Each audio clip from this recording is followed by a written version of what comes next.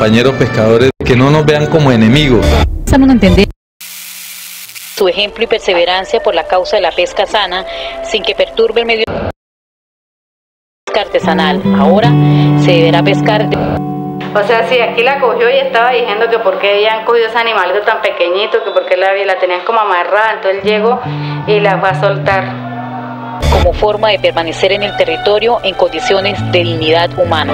Recuerdo que tenía una camisa manga larga, toda así como de flores y todo así. Él se ponía su camisa.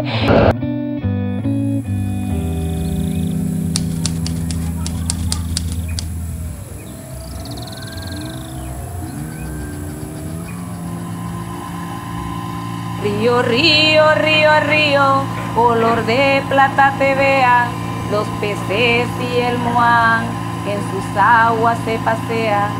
Río, río, río, río, color de plata te vean.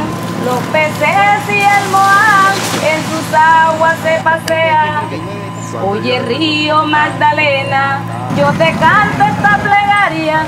El moán tiene razón si le llevan la contraria. Río, río, río, río, color de plata te vean, los peces y el moán en tus aguas se pasean.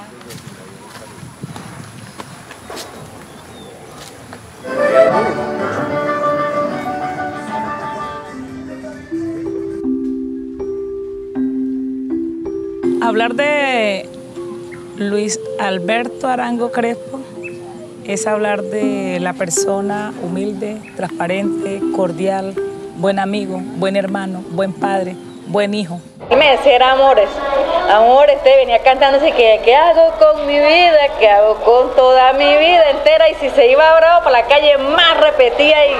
Y él colocó esta canoa a la Mil Amores por eso. De ahí era reconocido en los puertos donde llegaba, llegó la Mil Amores o llegó Lucho. Eh, mandaba parar la canoa.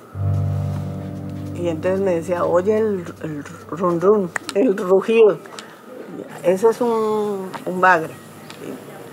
Y yo le decía a Lucho, yo no sé cómo hacen los, los bocachicos ni cómo hacen los bagres. Uno, yo estudio la taxonomía y todo, pero yo eso no sé, eso lo saben ustedes. Entonces yo botaba los tarros de límpido, como lavábamos, lo botaba por el patio. Él me decía, eso contamina la ciénaga.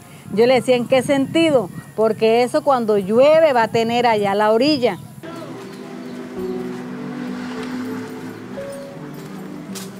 Esto, el compadre un día le dijo, si quieren acabar esa ciénaga, que la acaben, compadre, entre nosotros también vamos a ayudar. Y él dijo, no, compadre, es que nosotros no tenemos que pensar como piensan los que piensan acabar. No es que el día de nosotros, cuando Luis Carlos o Jason tengan los hijos de ellos, a ellos no van a poder conocer ni el pescado, ni la vizcaína, ni nada, porque si desde ahora comenzamos a acabar, entonces eso no lo vemos nosotros, nosotros ya estamos grandes y nosotros no tenemos necesidad, pero los hijos de nuestros hijos sí son los que van a vivir la necesidad en sí.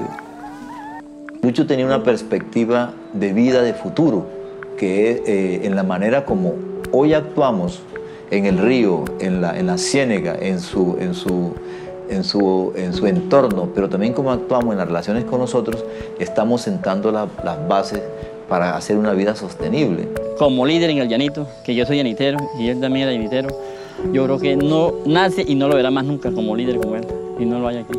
Porque fue el único que fue capaz de sentar a todas las organizaciones del corregimiento del llanito para un solo propósito, el propósito de la recuperación de la ciénaga. Defendían la pesca artesanal con dos objetivos, básicamente. Uno, pues poder garantizar que hubiese peces para el futuro, ¿no? Y segundo, la defendía porque los humedales dentro de los cuales se ubican las ciénagas, pues están siendo afectados por diversos actores económicos. El problema de las ciénagas es que se convierte, sobre todo en invierno, que eso se vuelve como unos mares interiores, se convierten en unas rutas de todo, rutas de armas, rutas de drogas, rutas de gasolina, rutas de todo, y rutas de, de, de fuerzas al margen de la ley.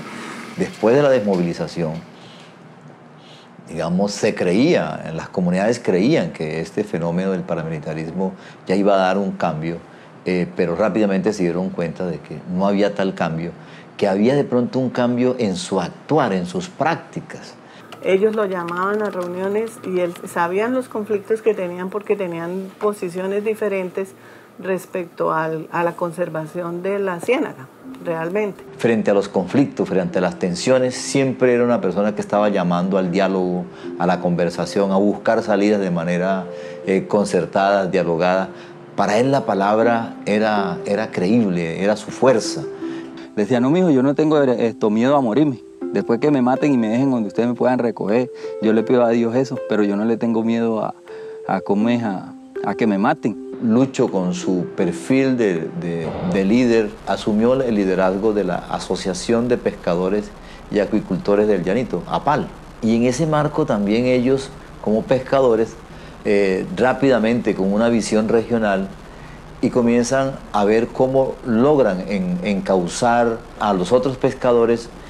Luis hizo posible que la gente se encontrara y confiara. Luis hizo posible que la gente se reuniera y se viera una sola persona, el pescador, las luchas del pescador.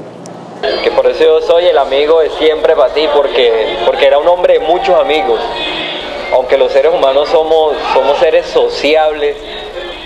Que usted decía Lucho que mañana tú te en Barranca. Él no sé, así no tenía la pasaje, pero allá se le presentaba. Él no se le marcaba. Sin cinco, sin cinco me voy. allá sí fuera aguantando hambre. Y el día 11 se terminó la, la capacitación. El día 12 viajamos. Eh, viajamos. Yo viajé como a las 8 de la mañana y como a las 11 me llamó Rosauro. Mataron a Luis Arango. Lucha de Lucho y el de muchos pesqueros.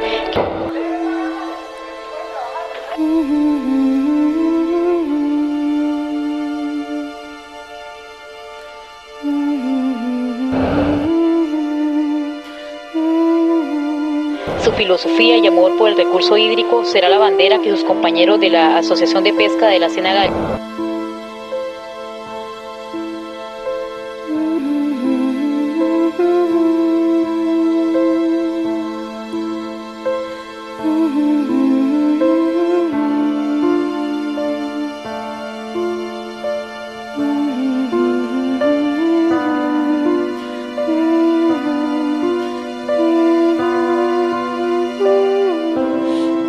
ya que lo asesina, uno de los, de los, de los asuntos que Lucho creyó era que, que podía ir a hablar, que lo, lo, lo, invitaron a hablar y por eso iba a hablar, porque él siempre mantenía la esperanza de que la palabra tenía una fuerza transformadora.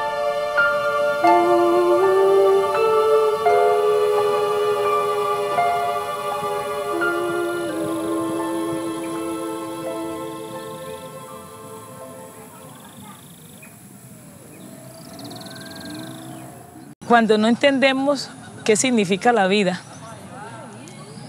cuando uno cree que la vida está en el comer dos días, cuando no tenemos principios ni valores, cuando creemos que el solo hecho de que la persona piense diferente es nuestro enemigo, cualquier persona está dispuesta a matar.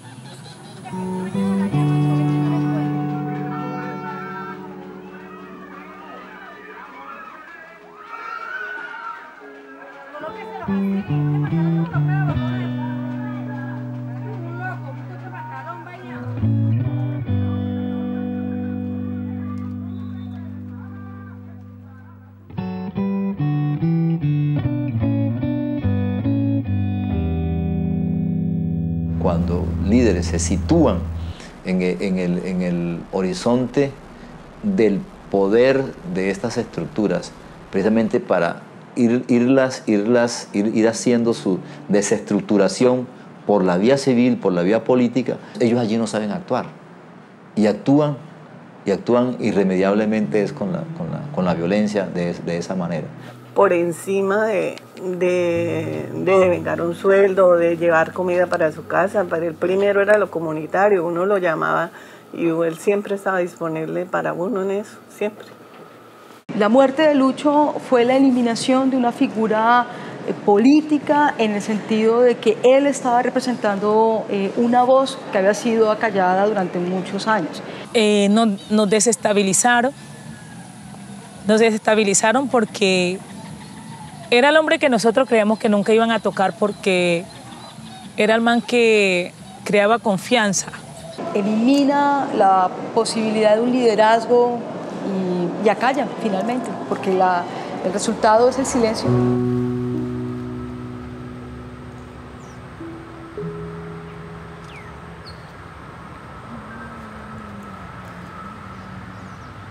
La abuela, la abuela, vela, vela, La, la memoria en- en- desde la experiencia de, de- de la cons- reconstrucción del caso es precisamente es un tejer colectivo de recuerdos, de imágenes y de sentimientos que van cruzando eh, diferentes perspectivas, situaciones eh, y que hace que precisamente sea tan importante eh, que sea un ejercicio colectivo no sea la memoria del Estado formalmente, la memoria de la mamá de Lucho, la memoria en este caso, sino la memoria de todos quienes de alguna manera estuvieron presentes en la vida de él. Porque hay que definir cuál va a ser la memoria de, este país pasado 20 años, de qué se va a contar, del prócer de hace mil años o de los líderes campesinos que también hicieron apuestas por el país.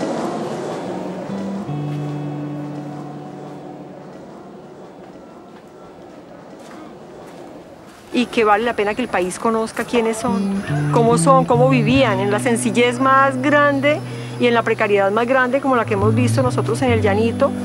Había un hombre que le apostaba a la, a la conservación del medio ambiente y que era coherente en su vida con eso.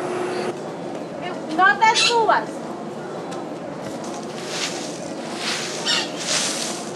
Ahí viene la pigua, Pepa.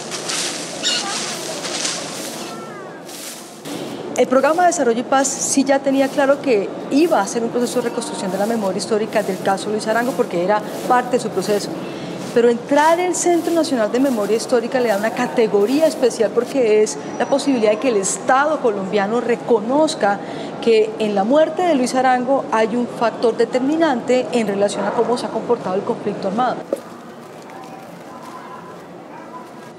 Como primera medida era superar el duelo. Para nosotros era muy difícil y nunca habíamos tenido la oportunidad de sentarnos entre todos a mirar lo que pasó y a decir cómo nos sentíamos, cómo habíamos sentido la pérdida, cómo nos sentíamos para seguir adelante. Es el encontrarnos y de tratar de, de, sacar todo lo que llevamos dentro y decirse sí, teníamos miedo, tenemos alegría, tenemos tristeza, tenemos rabia con el mundo. ¿Qué tal si estuviera Lucho, como estuviera la ciénaga, que estuviera el cuidado de cosas? Pero ya para qué?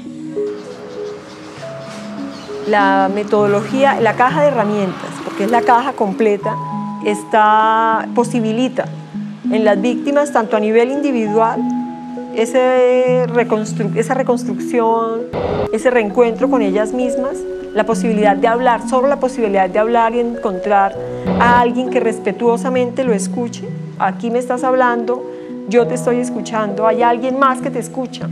Te escucho yo, te escucha el equipo, te va a escuchar el país, te escucha la universidad, te escucha el Centro Nacional de Memoria, te van a escuchar tus vecinos. Las comunidades reciben a la academia, pero la reciben con cierta resistencia, porque por, digamos, por año la tradición de investigación da cuenta de que la universidad va, saca información, como un laboratorio, entonces el ratón se deja experimentar y chao. Por eso en estos procesos de investigación sobre memoria es clave estas metodologías que son más implicativas, no de la observación, relación sujeto-objeto, yo aquí, yo investigo y chao. No, esa es la clave.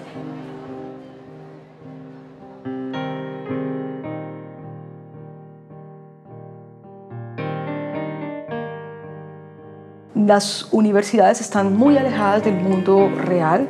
Las universidades están mirando, están narrando, están construyendo investigaciones a veces muy por fuera de las realidades y la demanda, casi la exigencia que la, que, la sociedad civil está planteando en las universidades haga presencia en esos espacios donde es recurrente, necesario, urgente la investigación social.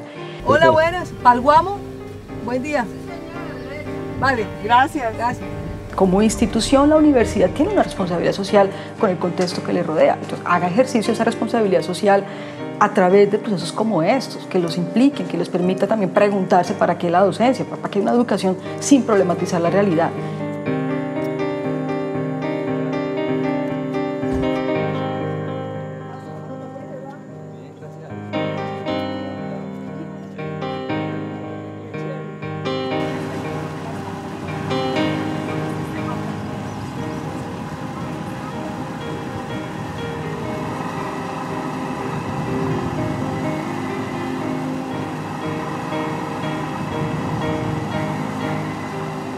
No hay, otra posibilidad de hacer ejercicios de memoria histórica en el contexto de Colombia si uno no se permite a sí mismo estar en los contextos reales, interactuar con las personas que hicieron parte de esos hechos.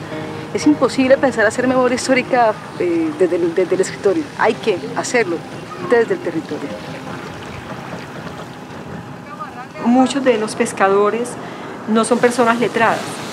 Entonces, si tú vas a trabajar con ellos y en perspectiva, es más fácil eh, que ellos puedan eh, en un dibujo contar cuáles son los problemas que si tú haces con ellos un diagnóstico, ¿no? Y la cartografía social es que ellos hagan sus propios mapas. Entonces no es el mapa hecho por el Agustín Codazzi, sino el mapa que dibuja la gente. Con los ganaderos ha sido difícil el acercamiento y como los ganaderos también se cogen todas las zonas de Ajá. los playones, cuando el río se seca y ellos lo ponen ahí para ubicar ahí a, los, a, a su Y ganado. acá está el Trasmayo, Ahí sí está en la ubicado. ciénaga de San Rafael de Chucurí, como el Trasmayo Nos reunimos un grupo allá a hablar sobre la memoria de Luis Arango, cómo había sido el- el- las cosas con Luis Arango, cómo lo conocíamos, que si teníamos fotos. Asistimos los, asistimos los, este, los líderes que estamos ahorita. Nos preguntaban que cuál era la canción que le gustaba a Lucho. Entonces había una comadre que vive por ahí cerquita que hasta se puso a bailar la música que le gustaba a Lucho. Todas otras. Bueno, yo, venga compadre, yo me, yo me la tomaba, ¿no? Pero prácticamente me cuidaba bailar. Nosotros hacíamos social. El social es, ¿será que nosotros nos vamos para el pueblo o nos quedamos aquí? No, sociales, dormamos aquí en esta parte porque aquí no nos pasa nada. Entonces, volver a hablar del tema, por lo menos volver a decir lo que yo sentí ese día, cómo viví yo esa situación, eso tiene un poder sanador impresionante en cada persona y también en el colectivo. Lucho, pues todos los días vive en mi pensamiento que aunque no esté con nosotros, siempre vivirá con nosotros porque fue un hermano que no tuvimos nada de que de pelear ni nada. Eso repara en gran parte el daño que nos hicieron, pero es para que no se olvide la historia. Y yo creo que fue muy acertado hacerlos con nosotros. Y agradecemos a cada una de las personas que estuvieron ahí y a aquellos que tomaron la decisión de que nosotros fuéramos escogidos para que la memoria nuestra no se perdiera. También hay así, papá decía, a veces las cosas pasan porque tienen que pasar, o a veces uno tiene que morirse para que pase algo bueno, o tienen que morir los malos para que se acabe la maldad. Él decía todo eso. Y si mi asesinato es porque, porque me, me, me matan, ya ustedes saben por qué me asesinan. Recordar a mi papá es duro, pero también dicen que es bueno porque todas las personas lo recuerdan de una forma muy importante. En el caso de Luis Arango, en el caso que nosotros trabajamos, es bonito ver cómo la familia, a partir de ese proceso, le da un significado distinto a la muerte de su ser querido. Ya no es eh, pensar que, digamos, la- el dolor, la rabia que se siente, sino qué bonito ver que lo que hizo nuestro papá, nuestro marido, nuestro hijo, nuestro tío, es tan importante que ahora se tiene en cuenta. verla, ¿qué le dije? Qué alegría verte. Bien, gracias a Dios. Hola, Dari, está muy simpática. Carajo. Hola. Yo creo que Lucho estaría feliz eh, de hacer lo que, de ver lo que estamos haciendo. Hay un programa que es el programa Guardarríos, que era una de las cosas que Lucho quería, que no muchas instituciones financian porque es costoso, pero, pero algunas de ellas creyeron y se dieron la oportunidad en poder dar ese voto de confianza a los pescadores y creo que para Lucho sería muy grato poder estar viendo esto que estamos haciendo en este momento por el río y por su ciénaga. O sea, él está, porque él se está dando cuenta, estará, está más contento que porque se ha seguido la lucha de él, seguir patrullando la ciénaga. Este, nosotros ya veníamos haciendo eso sin nada a cambio, ¿sí me entiende? Así porque nos gusta, porque seguimos el ejemplo que nos dejó Lucho, que fue cuidar la ciénaga, el río, porque es que es algo que nos va a mantener a nosotros y a nuestros hijos y a los hijos de nuestros hijos. ¿Cuánto tiempo no tiene ya Lucho pues que nos dejó y nosotros sin embargo hemos seguido con lo mismo? ¿Tú crees que ahora después de que Isagel deje de pagar, ellos, todos ellos van a salir a hacer lo mismo que hacía tu marido? Pues no serán todos, pero sí lo hacen. Sí lo van a Sí, continuar. Sí lo, sí lo van a continuar.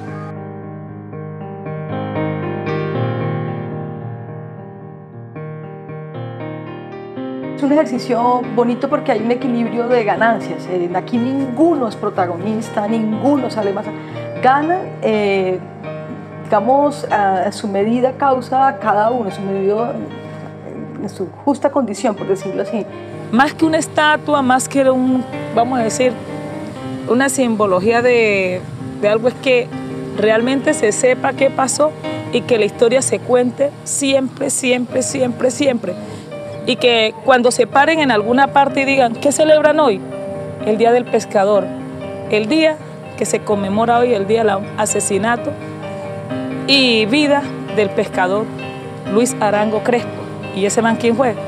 Fue este, este, este.